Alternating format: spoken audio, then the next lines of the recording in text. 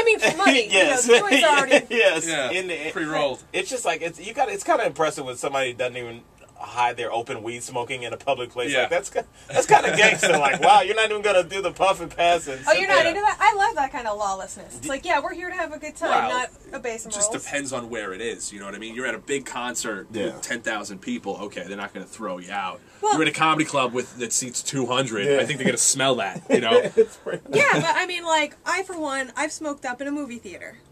what movie? Uh, don't remember. Like, you know, Schindler's List. All right, problem. You know, you were at Half Baked and you were you were. I did uh, see Schindler's List. I think that would be cliche to do it a half baked. Yeah. You know. Yeah, but of all the places to not get the cops Well, called on you, yeah. like really. It'd be like You it was what I that guy, this guy who looks like he was like woke up in a joint. mean? Yeah. He's got clothes. you know, out of you can't you can't hit the bong while uh, Love Eat Pray is uh, opening weekend. I It's think that's the only. You need something harder than that to watch that movie. Yeah, like a really sad breakup and some parents who never loved you. Yeah. What, wow. Did anybody go see that movie? Was it popular? I don't Oprah. know. Oprah went to go see that.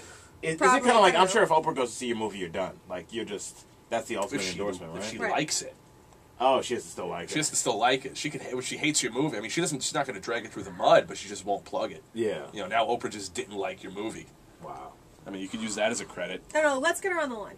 Yeah, it's cool. I was uh, having, having this thought the other day. What do you think is going to happen when Oprah dies?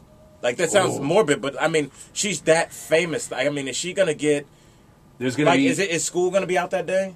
I mean, do you think she's she's she's about as famous as you could be? Well, There- okay. There's going to be a huge uh, power vacuum amongst uh, lesbian hosts who haven't come out of the closet. I think that's what's going to happen. Gonna like- Ellen's just gonna slip right in there. yeah, there's going to be like nine women vying for the new Oprah position. Well, I It's think Wendy huge. Williams has a good Oh. grasp on that. You don't like what Wendy? I just I can't look at her. I just can't. because she looks kind of like a man. She really looks like she reminds me of like when I first moved to Miami and like I didn't know my way around. I was on South Beach and just like past two o'clock, they're just trannies everywhere. Yeah, wait. Like she reminds me of that. Wendy Williams isn't a man.